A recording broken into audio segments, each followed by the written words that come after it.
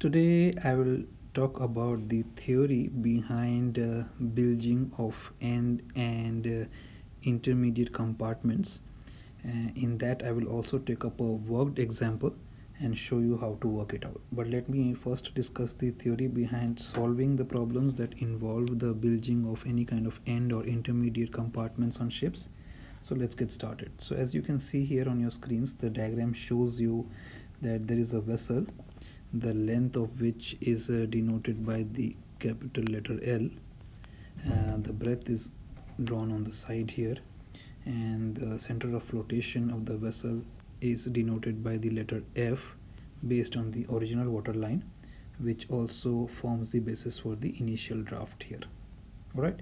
Now you see the compartment towards the let's say the forward part of the vessel and uh, this being the forward part of the vessel yeah the compartment on the forwardmost end. So this is the bilging of an end compartment.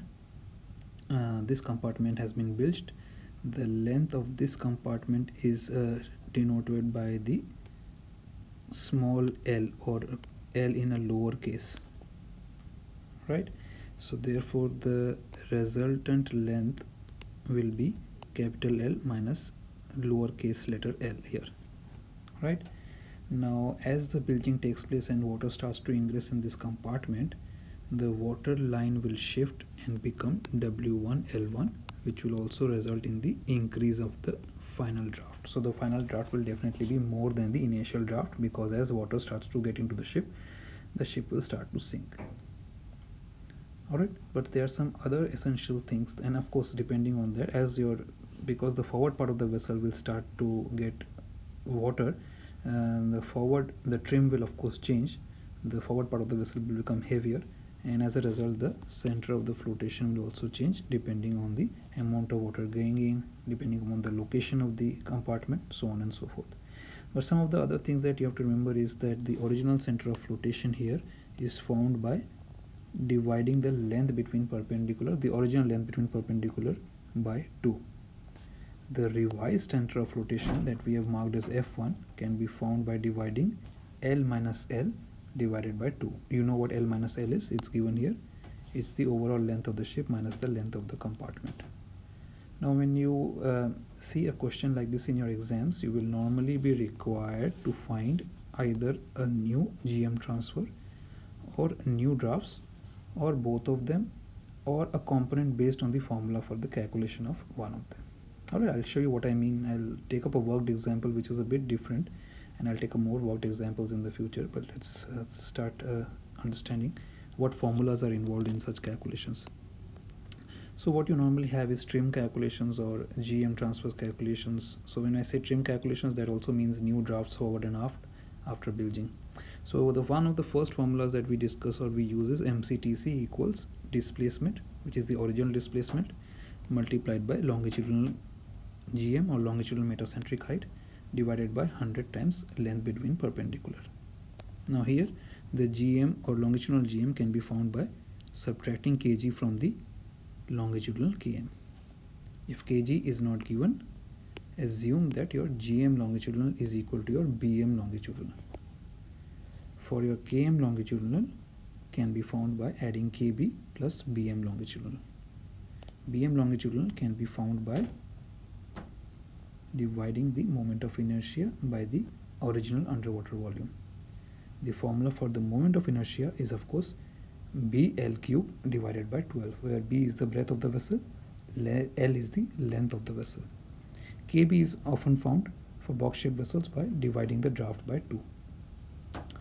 Then you can have to or you may have to find the change in the trim in centimeters so that can be found by dividing the trimming moment by the MCTC so once you can find mctc you can find uh, you can put it in this formula here. The trimming moment is defined by w by d where w is the weight of uh, water added up to the original water line and d becomes the distance from the center line where the weight was added. Then trim aft or change of draft aft due to change in the trim can be found by multiplying total change in trim from above multiplied by the longitudinal center of rotation or LCF divided by the length between perpendicular of the vessel. Make sure that if water plane is not broken, then your center of rotation will not shift then you can find out your trim forward by multiplying change in trim by the difference between length between perpendicular and the new longitudinal center of rotation divided by the length between perpendicular and finally the last formula is mean sinkage which is equal to bodily sinkage can be found by permeability times the volume divided by the area or the intact water plane area minus permeability multiplied by the area of the compartment. Now we've discussed these formulas before. When we talked about permeability and bilging of midship compartments so I'm sure you will see those videos. Otherwise just go into the link below and you can find the video and see it but I will also show you its application here in the worked example below. So you have a better idea of how the question might be framed and how you may have to find out certain parameters here. So the question says it's a box shaped vessel with a length and breadth of 120 by 20 this is floating at an even keel draft of 4 meters. It has a compartment 10 meter long at the aft of the vessel the compartment has a watertight flat 2 meter above the keel and cargo of certain permeability is stored in the compartment above the watertight flat as the compartment gets bilged above the watertight flat and the vessel's new drafts are found to be 3 meters and 5.6 meters, you have to find the permeability of the cargo. So as soon as you read a question in ship stability, please try to make some diagram to make some sense out of it. Your diagram doesn't have to be beautiful. Like you can see my diagrams are not beautiful at all. They are very ugly. And uh, you can make a diagram just to understand what may be happening so that you can conceptualize it better so as you can see I have drawn the ship I have marked the length of the vessel and the breadth of the vessel I have marked the original water line which shows a draft original draft of 4 meters then the length of the compartment at the aft is 10 meters there is a watertight flat with a height of 2 meters then there is some cargo that has been filled here with these these small pebbles are showing the cargo and then I have also shown the bilging that has taken place below the water line now naturally because it is the end compartment as the water filled in, the aft draft had to increase and the forward draft had to reduce. Now although we were given the even keel draft of 4 meters, the aft draft increased because of the ingress of water became 5.6 and the forward draft became 3 meters. Now let's get started on how to solve this question. So your initial draft before bilging was 4 meters and your final drafts after bilging was 3 meters and 5.6 meters forward and aft respectively. So your final mean draft can be calculated by adding the forward and mean draft dividing it by 2. So 3 plus 5.6 divided by 2 gives 8.6 divided by 2 which is 4.3 meters. Now your final draft or mean of final draft minus initial draft 4.3 meters minus 4 meters will give you your mean sinkage. So that is how much your vessel has sunk by from the original condition to the final condition 0.3 meters so your mean sinkage as you see in the as you saw in the formula above also equals to permeability by the volume of the bilged compartment divided by area or water plane area minus permeability by the area of the bilged compartment again all right so 0.3 will be equal to if we put the in the formula 10 by 20 by 2 this is of the bilged compartment of course.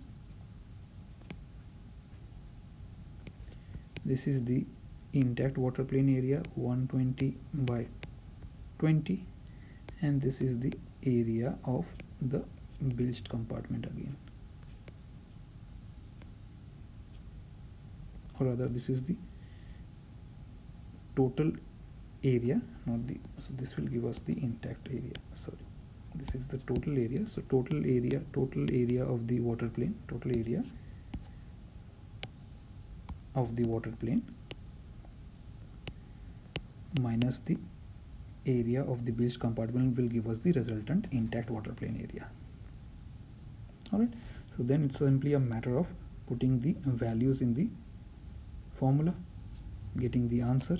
So the above the numerator will become 400p divided by 2400 minus 200p take it here.